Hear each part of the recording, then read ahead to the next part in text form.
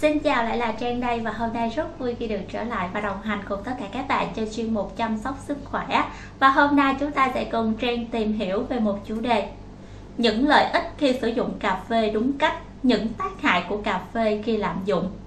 Nếu như các bạn quan tâm thì Trang có 3 phần chính xoay quanh để giúp ích cho chúng ta hiểu hơn về chủ đề ngày hôm nay. Thì cà phê là một trong những nguyên liệu phổ biến được ứng dụng trong nhiều lĩnh vực. Trong đó, thức uống này à, cà phê đó các bạn ha là loại nước uống khiến nhiều người trên thế giới mê mẩn và trong đó có người Việt của chúng ta. Uống cà phê có tác dụng gì đối với sức khỏe hay không? Thì đây cũng là một trong những cái thắc mắc mà rất nhiều người đặt ra và muốn tìm được câu trả lời một cách chính xác nhất. Thì bây giờ chúng ta sẽ cùng tìm hiểu những cái thông tin mà Trang đưa ra để giúp ích cho mọi người giải đáp được những cái thắc mắc à, của mình xoay quanh cà phê nhé.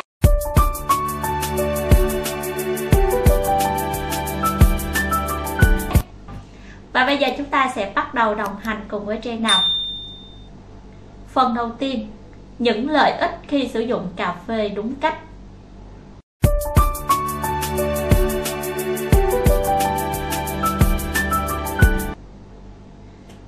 Việc uống à, cà phê đó được xem như là một thói quen vào buổi sáng của rất nhiều người. Thì chúng thu hút đến vậy bởi cái hương vị mà cà phê mang đến cho chúng ta khi thưởng thức vị đắng nhẹ, mùi thơm cùng chút chua. Còn lại sau khi chúng ta thưởng thức là vị đặc trưng của thức uống này. Chưa kể tới những cái cách chế biến khác nhau, lượng đường hay lượng sữa khác nhau mà tạo nên những cái trải nghiệm, cảm giác riêng biệt. Và ngày nay chúng ta lại rất là náo nức với cà phê muối nữa. Vậy uống cà phê có tác dụng như thế nào? Đối với sức khỏe, cùng điểm danh với Trang nha. Đầu tiên, nó sẽ giúp cho bạn giảm stress.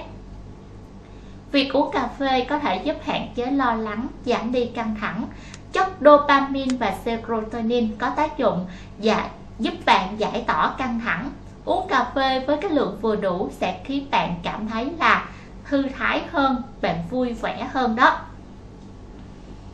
Thứ hai, tăng khả năng vận động.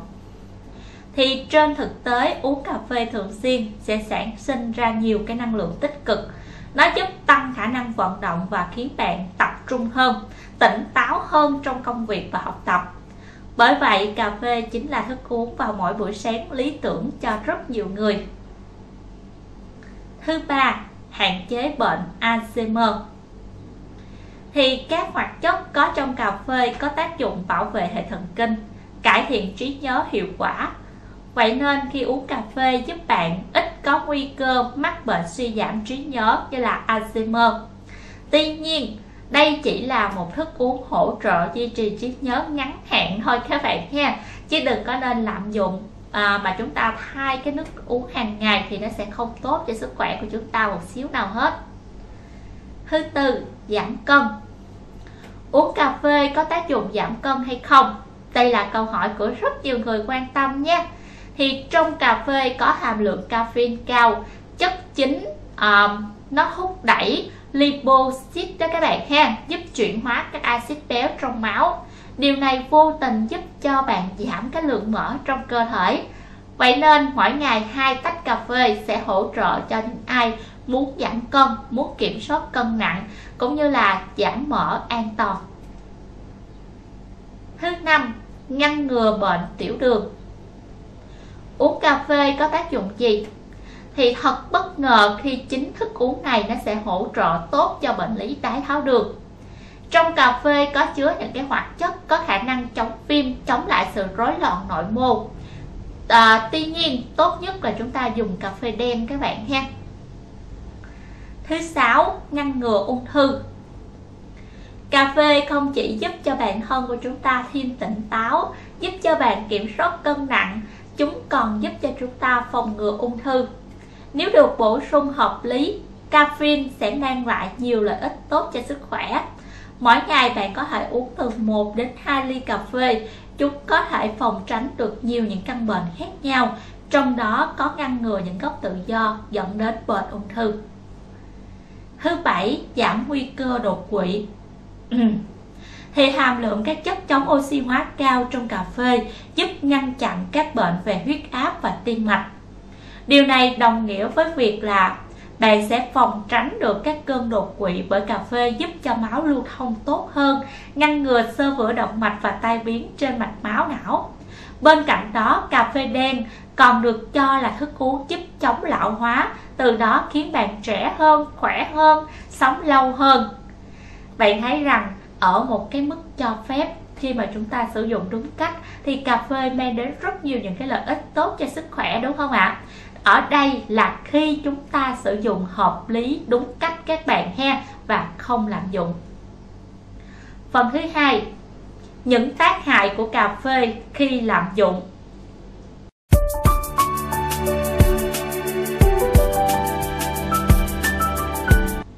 thì các bạn cũng biết rồi đó, cà phê được sử dụng một cách rộng rãi trên toàn thế giới bởi vì hương vị và lợi ích của nó mang đến. Tuy nhiên, việc sử dụng quá nhiều cà phê cũng có thể gây những cái tác dụng phụ khác ảnh hưởng đến sức khỏe. Thì đây là những cái tác hại khi bạn lạm dụng đây đầu tiên, có thể gây ra những cái rối loạn ở dạ dày thì các axit có trong cà phê nó sẽ kích thích dạ dày tiết ra nhiều axit hơn thúc đẩy trào ngược dạ dày thực quản nếu như bạn uống quá nhiều cà phê có thể dẫn đến rối loạn dạ dày như là buồn nôn, chuột rút, tiêu chảy, đầy hơi. Thứ hai, có thể gây mất ngủ. Mất ngủ là một chứng rối loạn về giấc ngủ. Trong đó một người có cảm thấy là khó đi vào giấc ngủ hoặc là khó ngủ thì đây là một dấu hiệu phổ biến khi mà chúng ta sử dụng quá nhiều cà phê. Thì cách đơn giản nhất để giải quyết cái chứng mất ngủ là tránh uống những cái thức uống có chứa caffeine trước khi đi ngủ các bạn ha. Trong đó có cà phê của chúng ta đang quan tâm tìm hiểu ở video ngày hôm nay đó. Thứ ba, có thể làm tăng mức huyết áp. Những người bị tăng huyết áp nên thận trọng về cái lượng cà phê mà bạn sử dụng hàng ngày thì theo một nghiên cứu, những người trẻ tuổi đó bị tăng huyết áp nhẹ, uống 4 tách cà phê mỗi ngày sẽ dễ bị đau tim gấp 4 lần so với những người bình thường uống từ hai tách trở xuống. Cho nên chúng ta cần phải lưu ý, cân nhắc thật kỹ nha. Thứ tư, có thể gây ra những vấn đề về kinh nguyệt. Việc uống quá nhiều cà phê có thể ảnh hưởng đến chu kỳ kinh nguyệt của bạn đó cà phê có thể gây chậm kinh chảy máu quá nhiều và chuột rút kéo dài trong cái thời kỳ kinh nguyệt. Cà phê cũng có thể làm tăng khả năng vận mạch ở phụ nữ mãn kinh. Cho nên là chúng ta thận trọng trong những cái trường hợp này. Thứ năm làm tăng nguy cơ tiểu đường không kiểm soát. Nếu cho bạn lạm dụng cà phê tăng nguy cơ à, tiểu đường không kiểm soát ở phụ nữ à, tăng nguy cơ gây tiểu các bạn ha. Xin lỗi các bạn. Thì đây là một trong những cái rối loạn ở bàng quang. Trong đó những người bệnh bị mất kiểm soát ở bàng quang của mình nó dẫn đến là dễ rò rỉ nước tiểu một cách đột ngột. À, bất khi nào người bệnh cười ho hay là hắt hơi thì nó cũng làm rò rỉ nước tiểu ra cho nên là nó tăng cái nguy cơ gây tiểu ở phụ nữ hơn. Cho nên là chúng ta cần lưu ý. Thì bạn cũng thấy rằng là cà phê nó cũng giúp cho chúng ta lợi tiểu một cách nhẹ đúng không? À, khi mà chúng ta sử dụng ở cái liều cho phép đó thì nó gây lợi tiểu nhẹ. Nhưng mà lạm dụng thì nó dễ gây rò rỉ nước tiểu đặc biệt là đối với các chị em phụ nữ. Thứ sáu làm tăng khả năng mắc bệnh lõm xương. Uống cà phê với số lượng lớn cũng có thể làm tăng nguy cơ lõm xương tác dụng này sẽ được chứng minh ở những cái à, là đúng cái bạn ha. Đặc biệt ở phụ nữ cao tuổi những người bị suy giảm hiệu suất canxi thì nó sẽ gây cản trở hấp thụ canxi dẫn đến lỏng xương. Đặc biệt ở phụ nữ lớn tuổi có cái lượng canxi thấp đó thì chúng ta nên thận trọng khi sử dụng uh, cà phê với một cái hàm lượng lớn. Thứ bảy không tốt cho người mắc bệnh tiểu đường tiếp 2 nếu như bạn đang mắc bệnh à, tiểu đường tiếp 2 thì bạn nên cân nhắc trong việc hạn chế số lượng cà phê để chúng ta đưa vào cái khẩu phần của mình. Nó có thể làm giảm chuyển hóa glucose làm tăng nguy cơ biến chứng của bệnh lý đái tháo đường. Thứ 8 có thể gây ra mụn. Uống nhiều tách cà phê trong một ngày có thể gây ra mụn trứng cá. Caffeine có trong cà phê làm tăng mức độ căng thẳng của cơ thể á, bằng cách là thúc đẩy các hormone căng thẳng. Đây là một trong những cái lý do chính gây ra mụn. Cà phê cũng có thể khiến cho cơ thể chúng ta mệt mỏi mất thăng bằng gây căng thẳng và cuối cùng là gây nổi mụn. Cho nên bạn thấy rằng lạm dụng cà phê nó cũng ảnh hưởng rất nhiều đối với sức khỏe của chúng ta, cũng kể cả sắc đẹp nữa, đúng không ạ? Cho nên chỉ sử dụng ở cái mức độ cho phép thì sẽ tốt nhất các bạn ha. Như vậy là chúng ta đã tìm hiểu cùng với Trang về những cái tác hại khi chúng ta lạm dụng cà phê. Phần thứ ba, những ai thì không nên sử dụng cà phê?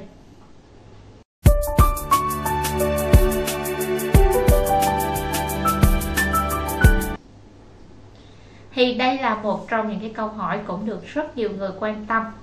Mặc dù chúng ta biết được cái lợi ích của việc cà phê có thể giúp cho tinh thần của chúng ta trở nên tỉnh táo hơn nhưng phải à, không phải ai cũng sử dụng được cà phê đúng không ạ?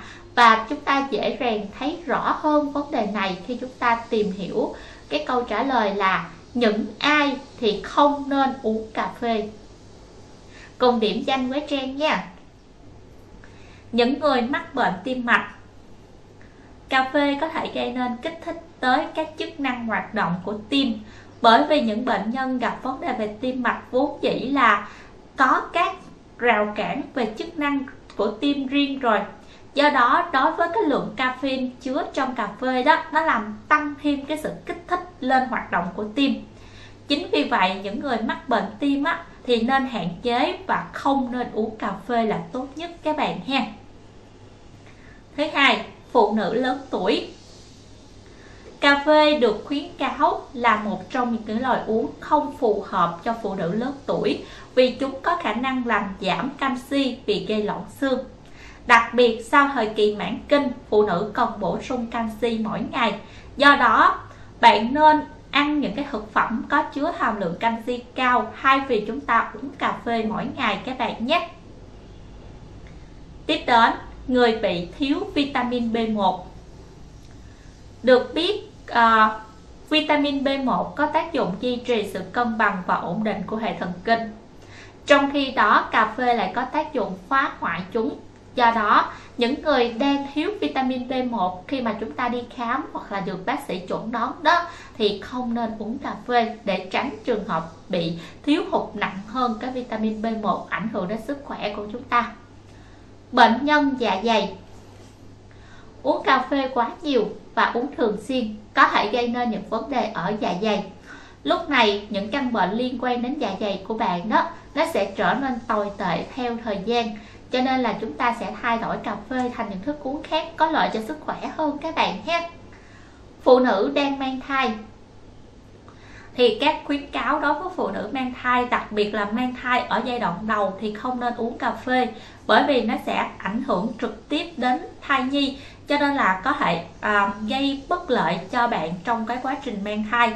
À, và tốt nhất là phụ nữ mang thai và phụ nữ cho con bú thì chúng ta hạn chế hoặc không nên sử dụng cà phê thì sẽ tốt hơn cho sức khỏe của mình như vậy đó là những cái lưu ý kèm theo để cho chúng ta thấy rằng uống cà phê thì cũng có những cái uh, lưu ý cho mình để chúng ta sử dụng đúng an toàn và mang đến cái hiệu quả tốt nhất cho sức khỏe.